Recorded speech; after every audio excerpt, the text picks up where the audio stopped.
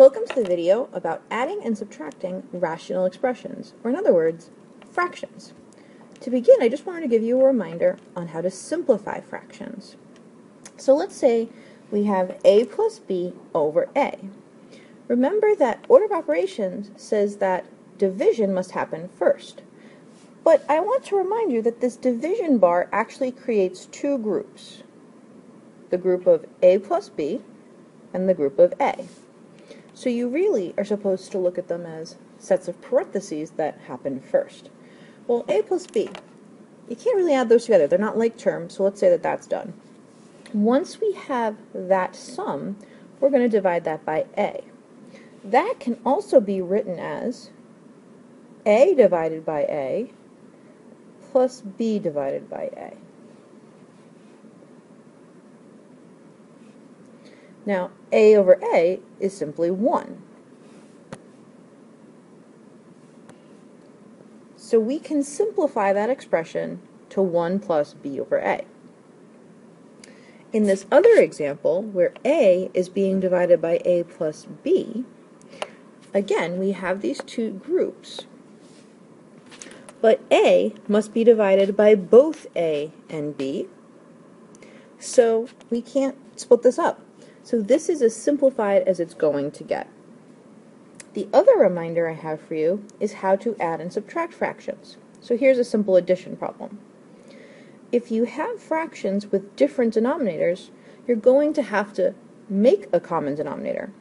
So notice that in the first denominator we have b, and in the second denominator we have d. So the factor in the first is b, and the factor in the second is d. So we're going to create a new denominator of those factors being multiplied. I'm going to call that the LCD, the lowest common denominator. To do that, I would multiply the first fraction by d over d, and the second fraction by b over b. Remember, I'm really just multiplying each fraction by 1, so I'm not changing their values, I'm just changing way they appear. So then that would become AD over BD plus BC over BD. So we made common denominators. Once you have the common denominator, you can simply add your numerators. So we have A plus B, sorry, AD plus BC over BD. And now it is simplified. So let's get into some new examples. So in our next example, our first denominator has 3, x, 2, and 2x. Our second denominator also has three factors, x, y, and xy. So we want to make the lowest common denominator. So notice that they both already had x as a factor. This one has 2 as a factor. This one's going to need that 2 as a factor. And this has the y. This one's going to need the y. So I am going to multiply the first fraction by y over y, and the second fraction by 2 over 2 and that will create 3y over 2xy and 2 over 2xy. Now I have a common denominator. I can add my numerators, so 3y plus 2 over my common denominator of 2xy. If you chose to make your common denominator the lowest common denominator, there won't be any real need to simplify. You've done your simplifying already. I want you to notice that we know a few things about x and y. Obviously, they're variables. They can stand for multiple uh, representation or rep multiple numbers. But we know that x can't be 0, and we know that y can't be 0, or else this would be undefined. In our adding process, we never lost that idea. So I just want you to kind of remember that, because there will be an example where we will have to consider what the denominator is, or any factors that we actually canceled. We didn't cancel any factors here, so we are all done. All right, our next example. What are the factors of x plus 2? They are not a and 2, right? a and 2 are not being multiplied, they're being added. So the only factor of a plus 2 that I know of is a plus 2 and 1. a minus 2, again, is itself a factor. So this has a factor of a plus 2, this has a factor of a minus 2. There's no commonality between those factors. So we're going to have to multiply this a plus 2 by an a minus 2, and this a minus 2 by an a plus 2, in order to create the lowest common denominator. Obviously, I'm going to do the same thing to the numerators. And notice if you didn't add those parentheses, you wouldn't be multiplying correctly. So now let's do that multiplication. So on our first fraction here, I'm going to distribute my 5. So I have 5a minus 10 over a minus 2 times a plus 2. You might be wondering, why didn't I multiply the factors in the denominator? Well, since I already have it factored, I'm going to leave it factored because in the end of the addition problem, I'm going to see if I can actually factor the numerator and cancel any of them. So I'm going to leave the bottom factored. The top is not going to be in factored form once I finish this step. So I'm going to continue. So on this one, I'd get 3a plus 6 over a minus 2 times a plus 2. Right, because now I'm going to add these, and I get 8a minus 4 over a minus 2, a plus 2. And I'm going to factor that numerator to see if I actually have any commonalities in factors. So let's factor out a 4. So I'd get 2a minus 1 on the numerator over a minus 2a plus 2. All right. When we say add, obviously we want you to combine the fractions, but we also want you to simplify. So really in this, it's, it's two parts to this direction. So it's also simplify. So now look at this answer and see if you have any factors in common in the numerator and denominator. So we have this factor and this factor, this factor and this factor, and they are not in common. So we are done. This is as simplified as it's going to get. I'm going to make a little note of that right now.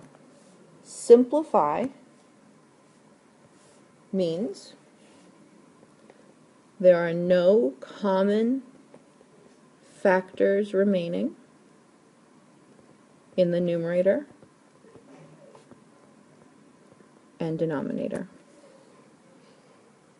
Okay, let's do one more example. So for our last example, notice our denominators have not been factored yet, so I can't tell what the common denominator is if I don't know what the common factors are. So I'm going to do that first. Let's factor this. Uh, this would be x times x to get us the x squared. And uh, what, 6 times 2 gets us 12 but we want them to also get negative 8, so negative 6 and negative 2. So there's our new denominator. And over here I'm going to factor out, let's see, they have a GCF of 4, so x minus 2 is remaining once I factor out that 4. So that's really what I should be comparing. Notice they have a common factor already of x minus 2. So that part is already taken care of. Now we have to make sure that they both have a factor of x minus 6. Ah, this one does and this one doesn't. So let's make sure that this one gets that. So I multiplied both the numerator and denominator by x minus 6. This one has a factor of 4. This one does not. So let's multiply this by 4 over 4. Now let's just make sure they have the same common factors. 4, x minus 6, and x minus 2. Perfect. Let's simplify that numerator to be 24. Uh, that's 4 times x minus 6 times x minus 2. This numerator is going to become 3x squared once I distribute the 3x minus 18x over that same denominator from before. Great. All right. Now that we have a common denominator, we're going to add our numerators. And I'm going to add it um, so that it, it appears in standard form. So we really get 3x minus 18x plus 24 over 4 times x minus 6 times x minus 2. Okay. Again, part of the problem is to add these fractions and also to simplify. And I need to actually factor my numerator to see if it has any common factors with my denominator. So notice, you might, you know, you get that feeling, oh my god, it's a 3x squared. I'm not that worried because 3, negative 18, and 24 all have a common factor of 3. So I'm going to start by factoring out a 3 from that quadratic. And now notice I don't have to worry about factoring a quadratic with an a value not 1. That makes me happy. Now I just have to worry about factoring x squared minus 6x plus 8. I can do that. So that becomes, let me write up here, 3 times, let's see, we're going to get our x's in front for our binomials to get the x squared. 8 is really 4 times 2, but they need to add up to negative 6, so I'll make them negative. They still multiply to positive 8. Perfect over 4 times x minus 6 times x minus 2. Excellent. Now that the numerator and denominator are factored, notice, ooh, we have a common factor in both of them, which obviously we're going to cancel since multiplying by x minus 2 is canceled by the dividing by x minus 2. So our simplified answer is 3 times x minus 4 over 4 times x minus 6. But remember from our graphing video that this x minus 2 being canceled actually indicates a discontinuity. To be more specific, it indicates a hole in this function's graph, if it was a function to be graphed. So I'm going to make a little note here that even though this has been simplified, x is not allowed to be 2. And the reason that I have to write that down is that if I looked at this simplified answer here, there's no indication of that. I had to go through the process in order to see that x can't be 2. If I had looked at the original problem, oh, look back here, obviously x can't be 6 and x can't be 2. I can st I'm still aware that x can't be 6. So think of it as like you were working on something and then you handed it to your friend. They would know x is not allowed to be 6, but they wouldn't know this unless they had seen all this work. So we always want to think of the simplified answer as being representative of all of the work. So we're going to include that. So I've included another problem for you to try on your own. So good luck on that, and remember to check your answer.